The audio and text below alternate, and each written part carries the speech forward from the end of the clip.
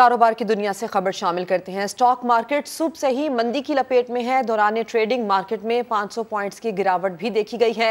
समा के senior reporter Syed Rizwan Alam इस वक्त मार्केट में हैं, उनसे मजीद जानते हैं। रिजवान, बताइएगा, स्टॉक मार्केट क्यों दबाव में है? इसकी वजह क्या है?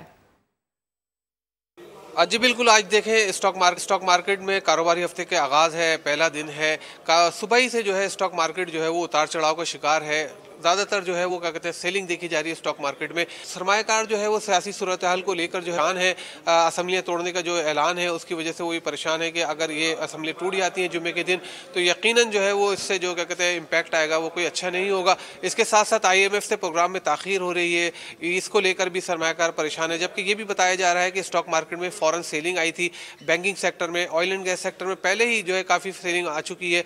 एक स्टॉक मार्केट को संभालने के हवाले से ये कहा जा रहा है कि अगर ये जो कंपनियाँ हैं, जिनके शेयर्स की कीमतें इतनी नीचे आ गई हैं, यही कंपनियाँ अपने शेयर पुरकशिश कीमतों के ऊपर बाई बैक करें तो मार्केट को उससे सहारा मिलेगा।